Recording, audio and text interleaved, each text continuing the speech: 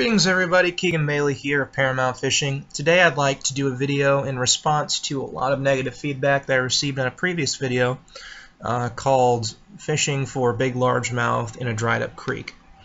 So really today um, I'd like to share with you how I got the, um, the weight estimation for the first fish that I caught. Um, what I did really is I eyeballed the fish and I deemed it to be around 18 or 19 inches and um, basically over the years I've kind of memorized this chart to some degree um, or arbitrarily um, arbitrarily memorized it. Um, and this is a, a, chart that I found years ago. Um, it's on the Texas Parks and Wildlife website. Um, and it's um, it was created by a survey of 3,178 Texas bass. And what's unique about Texas bass is that they have a good mix of the Floridian strain largemouth and the northern strain largemouth. And both strains have slightly different body proportions and weight distributions. Um, and by having this this rare opportunity uh, to survey these fish um, with you know both strains being present, um, it gives a really really good um, really good evaluation of largemouth bass, you know, overall. Um, so basically we're going to kind of pan down here.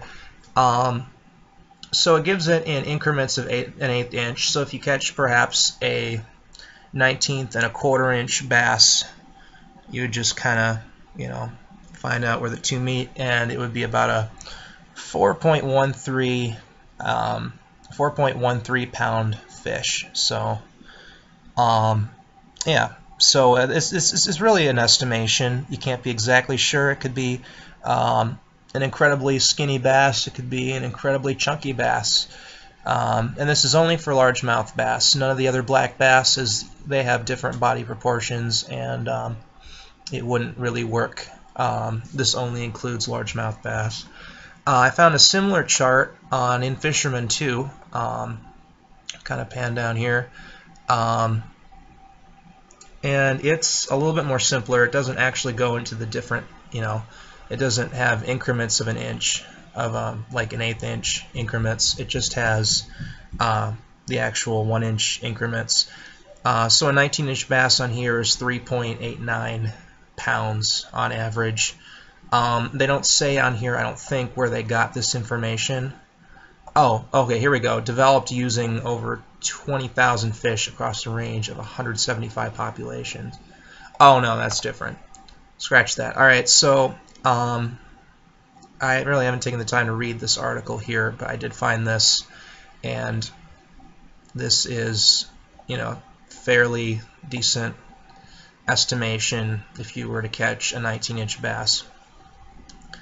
All right. Um, so over here is a similar chart to the first one I showed you. This is on a website called The Jump, um, thejump.net. I'm going to be uh, providing the links to all these websites in my um, my description, my video description, so that you can check them out for yourself. Um, so um, yeah, so the fish I caught, I believe actually this is the same values for yeah the same values as the first website. So now the values here are different than uh, the Texas uh, Parks and Wildlife website.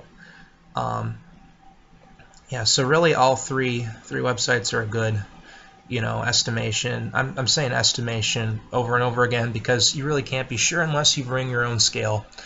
Um, and I believe a lot of the discrepancy uh, between what I was getting in the comment section, basically, you know, meaning, you know, we had a lot of people were saying one pound, a lot of people were saying the fish weighed two pounds, a lot of people were saying that the fish weighed, you know, less than a pound.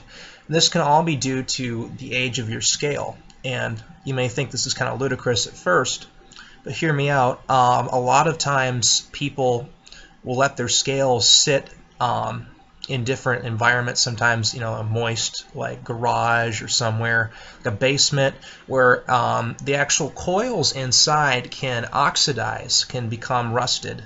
And we all know that rusted metal is not nearly as flexible as uh, metal that has not rusted. So um, it's very possible that scales within uh, different degrees of rusting, you know, inside um, may give different weights. Um, so a three pound bass on a scale that's partially rusted could come up as, you know, being like one and a half to two pounds. So um, it's really hard to determine that. Um, surefire way though is by measuring the, the fork length um, using a tape measure or just um, some sort of fishing measuring tape. Um, I actually have a scale and a uh, measuring tape combined in one by Rapala um, that I find to be kind of useful.